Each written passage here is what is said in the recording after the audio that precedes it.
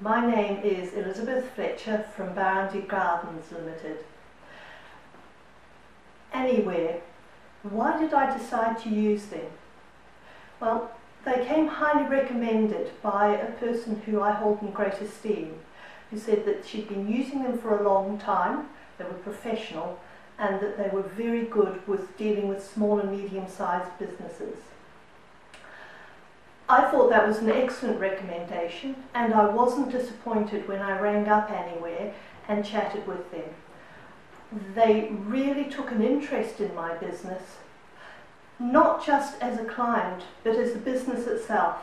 And that really assisted me in helping my business grow and develop. Boundary Gardens is in its first year of development, so having a team that was cohesive and worked together was really very important. So, would I recommend other people using Anyware? Definitely.